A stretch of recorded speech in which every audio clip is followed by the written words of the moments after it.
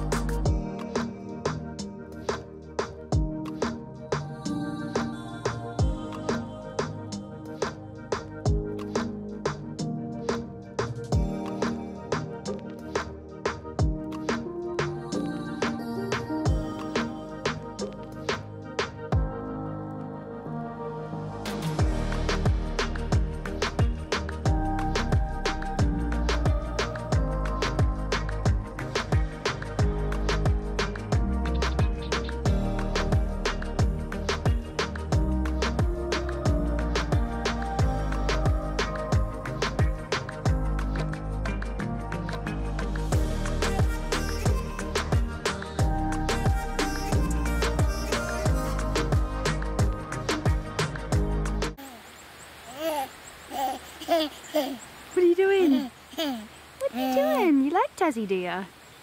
You like Tassie?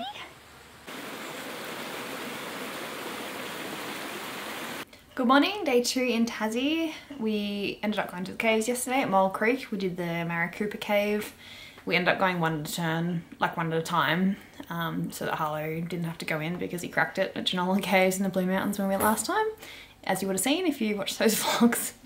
So anyway, one at a time, which is fine. It's a shame we couldn't go together, but yeah, the cave was really good. Um, not as many crystals as like a lot of the other caves we've been to. It was kind of like more spread out and like, yeah, not as many. But it was cool because it followed an underground river which goes through the caves and glowworms. That's the main reason we went there. Um, the glowworms are really, really cool. And I think they said the caves were 430 million years old, something ridiculous. So it just blows our minds every time we go to caves like that.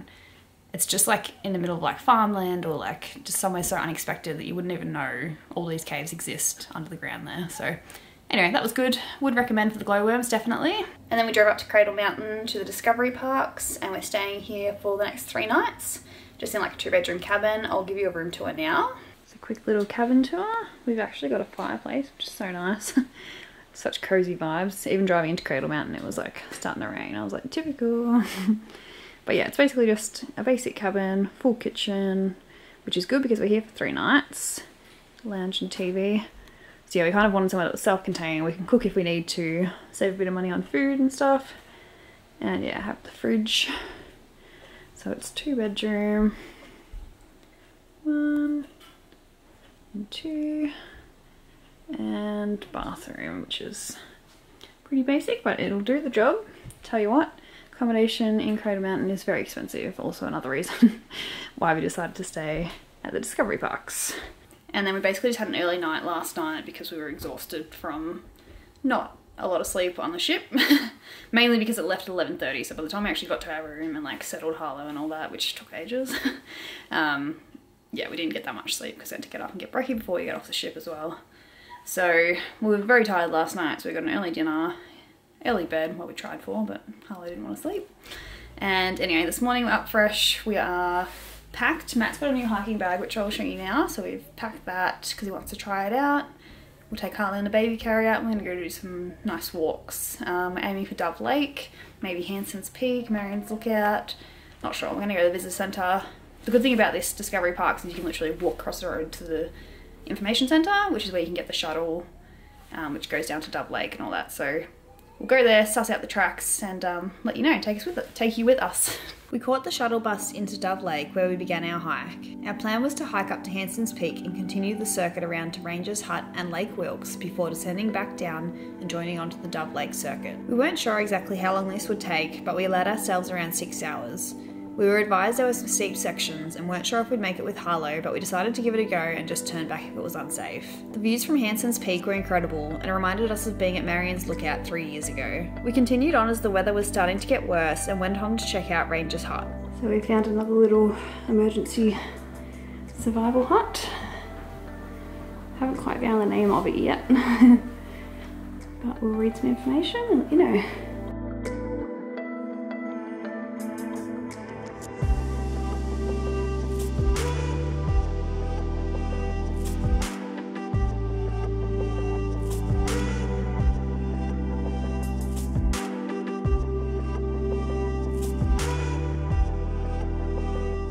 Come out to the Waldheim Chalet. Um, it's basically an old chalet. There's now a new accommodation here where you can stay too.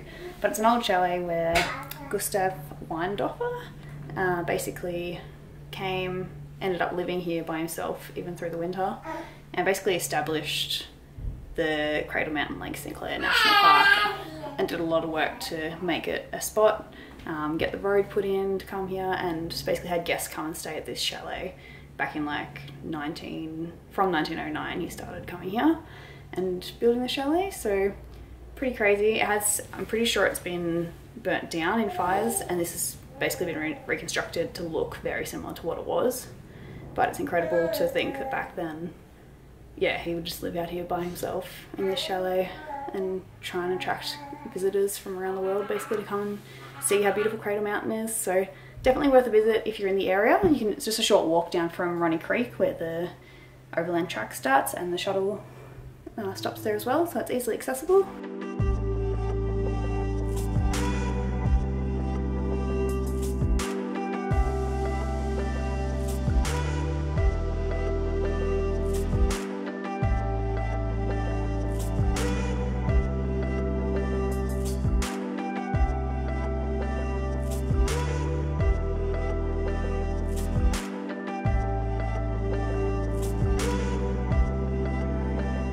So we finished up at the Waldenheim Chalet and now we've just continued to walk basically. Yeah. We're going to get the shuttle back to somewhere else to do some short walks, but we thought let's just continue the, I think it's called the Cradle Boardwalk or something. I Basi- think so. Yeah, you can basically go all the way from the Cradle Mountain Visitor Centre to Dove Lake. So we've jumped back on at Ronnie Creek and then we're going to walk back up to, well, potentially the whole way. um, it's Snake Hill and then uh, the Interpretation Centre where the Peppers Lodge is, and then it continues on to Cradle Mountain, so that visitor centre. So we'll see how we go. If we get tired, we'll just jump on the shuttle bus and Hit your ride home. make our way back. Um, it runs like every five to ten minutes, so it's super easy. But this boardwalk's actually beautiful, and it follows like yeah one of the creeks or rivers, and Just a nice walk. yeah, nice and flat, nice and easy.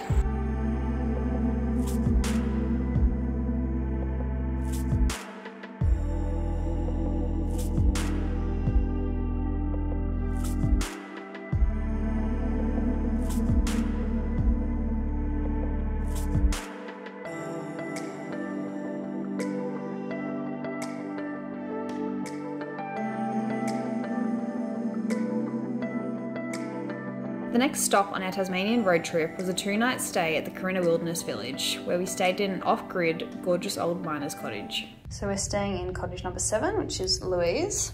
Just walked in. It is so much nicer than I expected. I don't know why I didn't really. I expected it to be quite old, but it's actually quite modern. It's so nice. Bathroom a little back deck by the looks.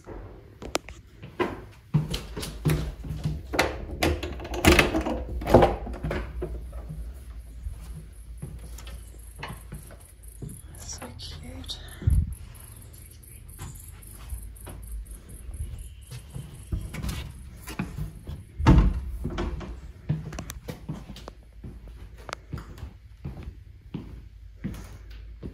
Oh, that's adorable. The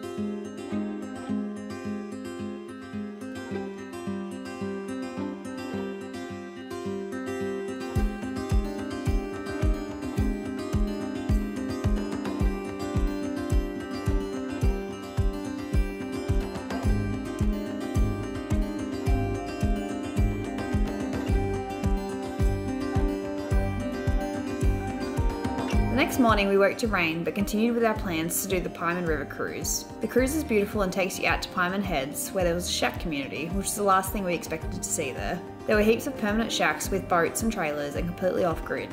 We assumed the only reason people would come out here would be to go fishing, but we're not entirely sure. We kept walking out to the beach where the Pieman River meets the Indian Ocean and it was wild. The wind was blowing a gale and huge waves crashed on top of each other.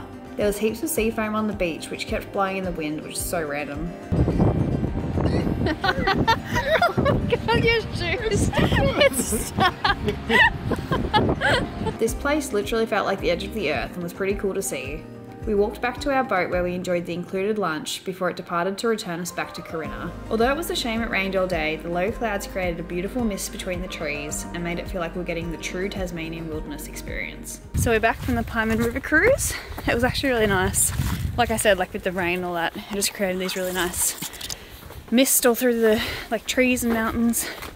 And we did get pretty wet, but we just sacrificed our rain jackets for Harlow. he stayed nice and cozy and dry. Slept through the rain while we walked, which was nice. So now we've just got back. We're doing the, I believe it's the Whyte River Track. So this is an hour and a half circuit, but we're counting on the fact that it's going to take us a lot less because normally they do. Like normally the signs allow for a lot more time than what it actually takes. So fingers crossed because we've only got about 40 minutes till I do the reservation at the Tarkine Hotel, which is a restaurant here at Corinna.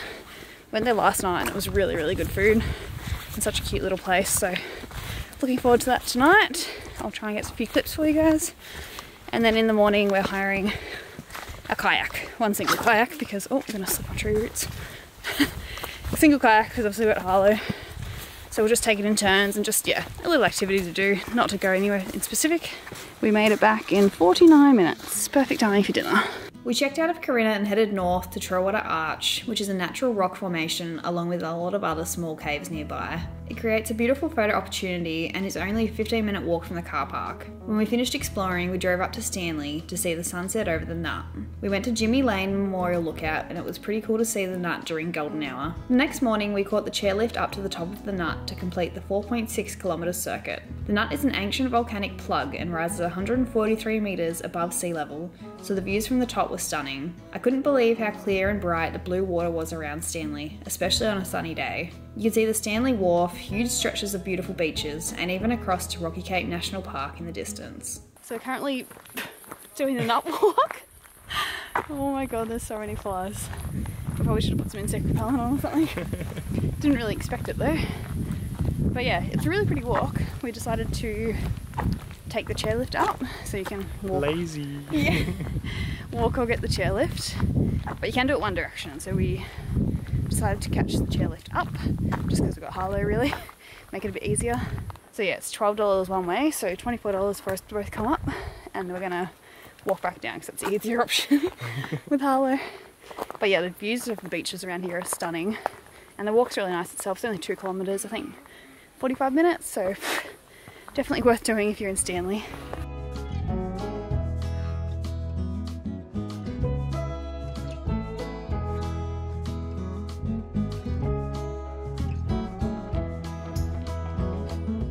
So we've just come out to Rocky Cape National Park. It's kind of on the way from Stanley to Devonport where we're going. So we're like, let's have a look. Um, not much of a detour. And yeah, it's really pretty driving in. Like it's quite mountainous, like right on the coast. And then there's quite a few dramatic kind of rock formations in the water and that. So we come out to the lighthouse. Um, like nothing amazing. I wouldn't be like, oh my god, you have to come here. But if you're driving past, definitely worth a look. Um, so yeah, we'll see if there's anything else interesting here before we head on um, to drive to Devonport. We might stop in Penguin for a look. I think the town's supposed to be pretty cute with like penguin things everywhere. Harlow's just destroying the place. Yeah, and then tonight we're actually going to go try and see some penguins um, on dusk when they come in. So Fingers crossed, we'll see how we go. We drove over to Devonport where we saw the Mersey Bluff Lighthouse and after sunset made our way to Lillico Beach to see the little penguins waddle back to their burrows. We didn't see heaps of penguins, but it was a great experience and it was also free. On our last day, we drove out to Leven Canyon where we walked the 45 minute circuit to Leven Canyon Lookout. We really enjoyed the views here, but we made our way to one last waterfall on the way back to Devonport called Preston Falls. This waterfall was really nice and a bit of a hidden gem. It was also only a short walk from the car park. We then made our way back to Devonport, ready to board the Spirit of Tasmania, which would take us back to Geelong. The thing I love about the Spirit of Tasmania is that it's still part of the journey. Our trip wasn't over and we still had heaps of fun on the way back home. Tasmania, we love you and we'll be back very soon, I'm sure.